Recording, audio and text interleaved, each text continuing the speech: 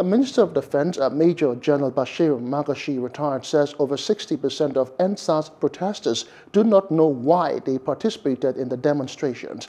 Magashi said this on Saturday after participating in the revalidation exercise of the All Progressives Congress in Kano. The EndSARS protests recommenced in Lagos on Saturday under the aegis of Occupy Lekki Tollgate, with more than 30 protesters, including Debo Adebayo, a Nigerian comedian better known as Mr. Macaroni, arrested by security operatives. The protesters were, however, arraigned before a mobile court in Lagos and granted. Hello, hope you enjoyed the news. Please do subscribe to our YouTube channel and don't forget to hit the notification button so you get notified about fresh news updates.